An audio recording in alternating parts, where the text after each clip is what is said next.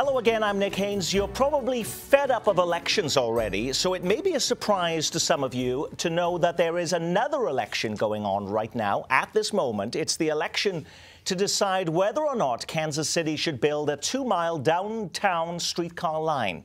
The reason it may have slipped your mind is that even if you live in Kansas City, Missouri, you're most likely not one of those who got a chance to vote. Only those who live in a specially set up transportation district around the proposed route get a say, and it's a mail in ballot. 697 voters requested ballots that must be returned by December 11th. That represents about 20% of the voters in the transportation district, which follows the proposed route from Union Station to the River Market. The cost of the project, by the way, is $100 million. Backers say, if approved, four streetcars could be running up and down this route starting in 2015 from 6 in the morning until midnight, later on weekends.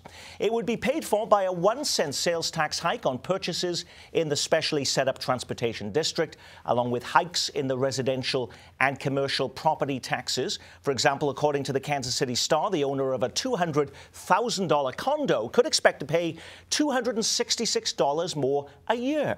Now, that's a price worth paying given the benefits that this service will provide. A more vibrant downtown, says the streetcar's backers. Kitty McCoy, and Kite Singleton, the executive director and chair of the Kansas City Regional Transit Alliance.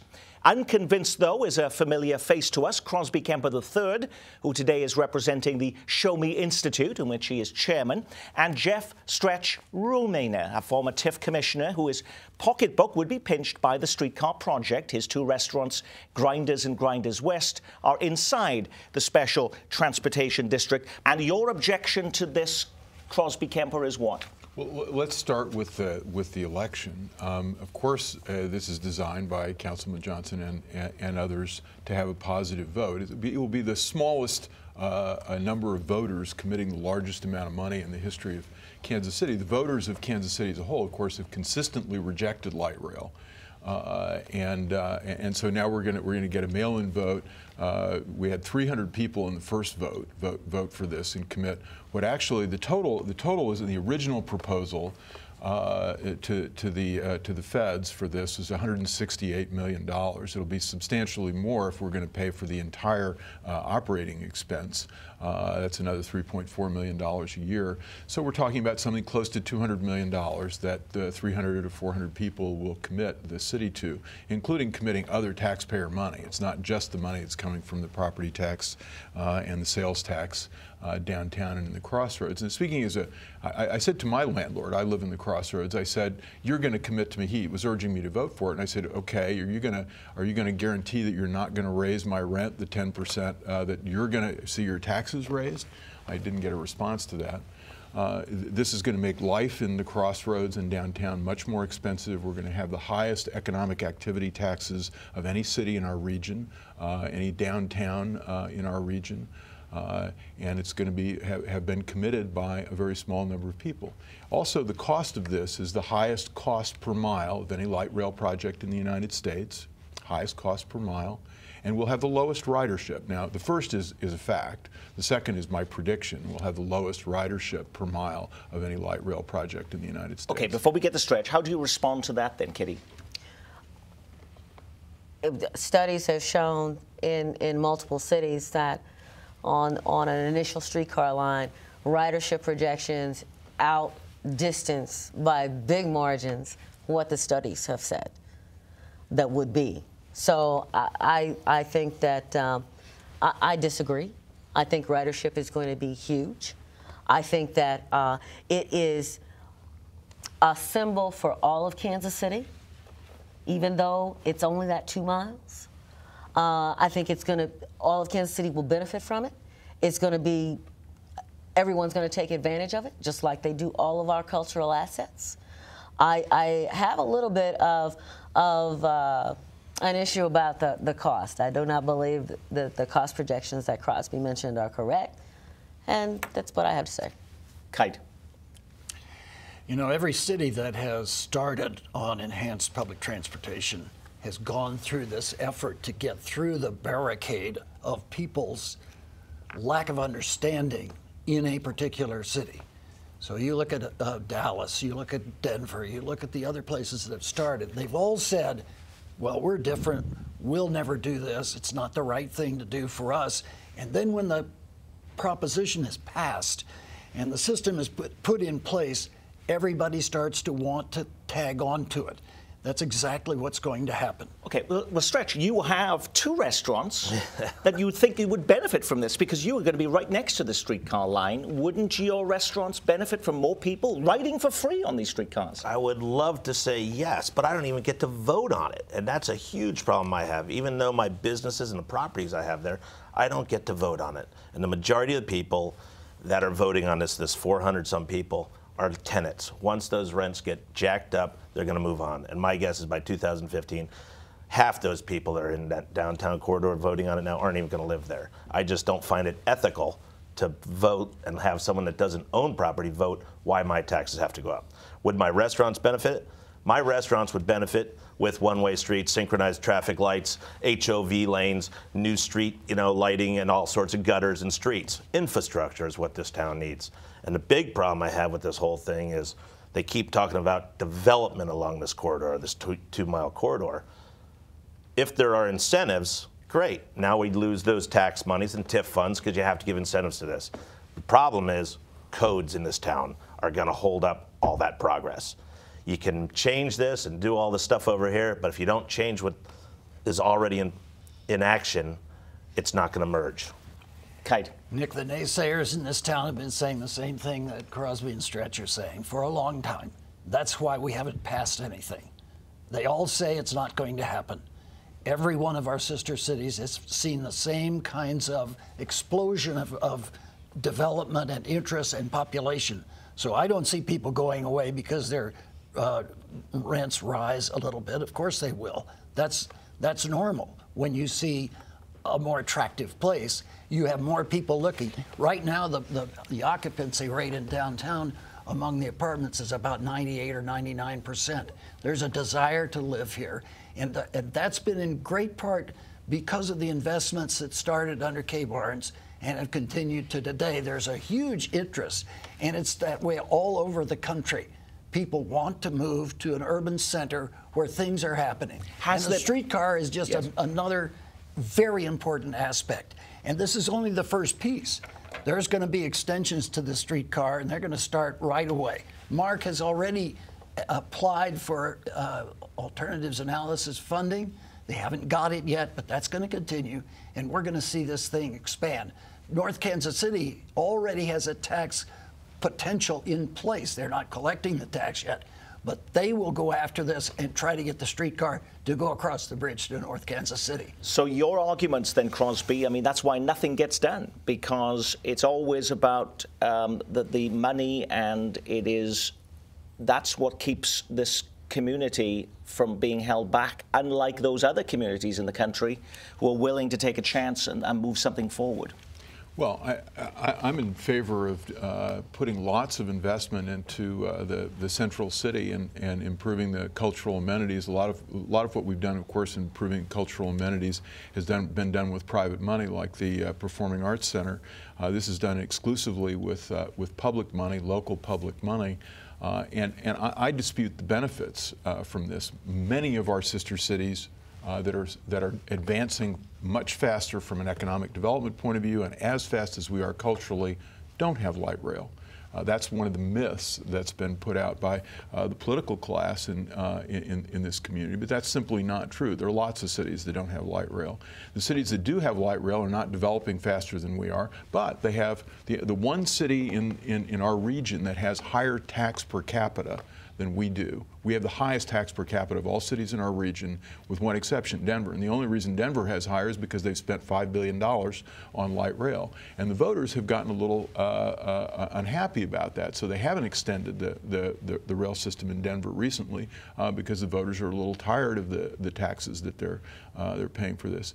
So the question is, what, what real benefit do we get out of this? It is a cultural amenity. I agree with that. There'll be a few more tourists and a few more 20-somethings who will move into the downtown area. But the rents will go up, so the 20-somethings won't really be able to afford to uh, uh, to live here, so they'll, they'll, be pushed out to, to some other area. So who's actually going to use it? Well, lawyers will use it to take clients to lunch at Crown Center if they're working downtown. Lawyers at Crown Center will use it to take their clients to lunch in the Power and Light District.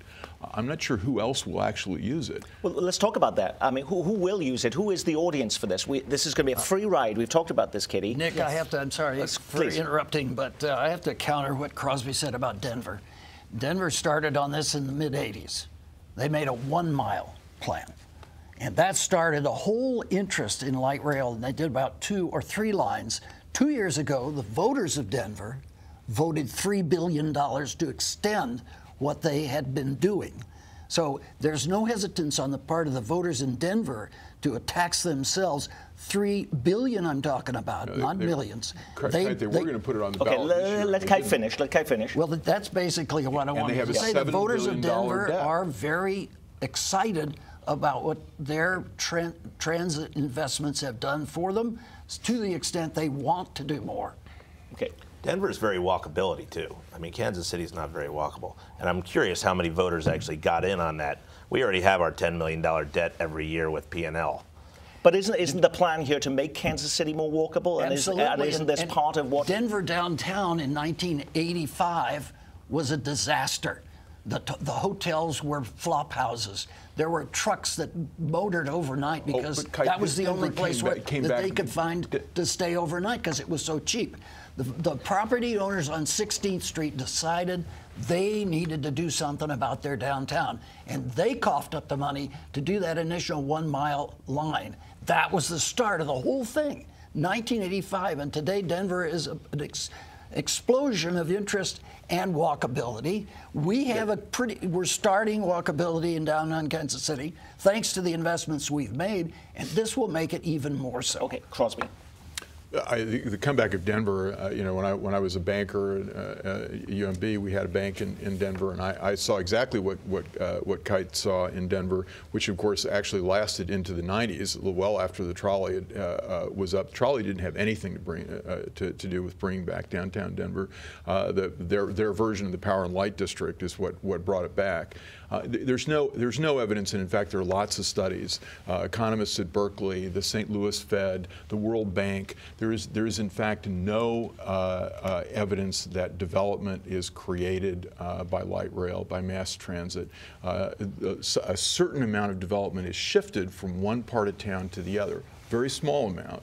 Uh, but there's no actual net addition of economic development based on light rail. And there's study after study that shows this. But uh, Crosby keeps mentioning light rail, but these are streetcars, and if we can show some more video of these, I mean, these are these are not on tracks of any kind, are they, Kitty? These are these are not attached to anything. They're, these are just running on roads. No, no. T- tell me about how these the actually work. Streetcars actually are on rails. They're on rails. They're okay. on rails. Now, now, the, you have to. If you were going to have light rail, you dig deeper.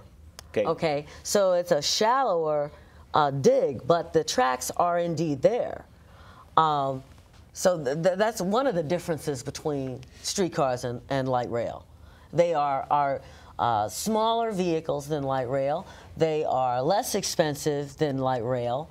Uh, I don't hear a lot about light rail, whereas I hear a lot about streetcars that are being uh, uh, put forth in multiple cities throughout the United States. But I want to go back to the question you asked me earlier, which was who's going to ride this streetcar? Well, I believe everybody who's within walking distance is going to ride the streetcar. I believe people who come downtown to events are going to want to ride the streetcar. And the young, as far as young people are concerned, I listened a lot to what the people are telling us. The people are telling us, first of all, young people consider it an imposition to be told that they must have a car. Kansas City has done nothing for the small businessman in the crossroads, especially. We've done it all ourselves without the help of everybody. By doing this light rail, charging us more, we're going to lose our younger crowd. We're going to have to raise our rents. We got hit with our, you know, 10 years ago, they raised all our property taxes through the roof. And we ended up, everybody had to leave. How are you going to lose your younger crowd? Can you gain a younger crowd in the downtown area because of streetcars? You theoretically could the, the people still have to get from point A to point B even if they're on the streetcar. It's a linear one lane road. Everything out after that is four or five blocks. Everything that would be on that little corridor may benefit from that somewhat. We don't have a walkability city. We just built a beautiful museum on a hill with a parking garage. No one's going to walk up those three blocks, four blocks to get to that performing arts center. Kansas City, Missouri cannot run. They have a hard time running certain things. Let's just say that. Okay. a, a final, can I say that a, a nice? final word in support of streetcars. Uh, you have 20 seconds. Kite. you have to start somewhere. I've been doing this for 40 years, trying to find a way to get the citizens of Kansas City to recognize what they will gain from having an enhanced public transportation system. And now we've got an opportunity because the Missouri legislature established this transportation development district and, and we've taken advantage of that. And it's going to be the start. It's going to be the start of a regional thrust toward public transportation, which is ardently desired by many, many people. 20 seconds, Crosby Kemper. The voters have rejected light rail over and over again, and this is designed uh, to have the smallest number of people voting. It's very undemocratic. Uh, it will be very, very expensive. It will have the lowest ridership because we have no density in Kansas City. The only successful uh, urban mass transit uh, uh, systems uh, are, are, in places where there's high density. This won't create it, uh, and so it will be very, uh, very unsuccessful. Uh, from a ridership point of view. It's another, it's another thing that's being imposed on the taxpayers, and we're going to end up with the highest tax per capita economic activity uh, taxes and property taxes in the, in the most dynamic and creative part of the city, and that's a huge mistake from an economic development point of view. Kitty McCoy and Kite Singleton from the Regional Transit Alliance, thank you. Crosby Kemper representing the Show Me Institute today, and restaurateur Stretch, thank you for being with us. December 11th is the date when those mail-in ballots have to be returned. We will know shortly afterward if it's yay or nay on streetcars.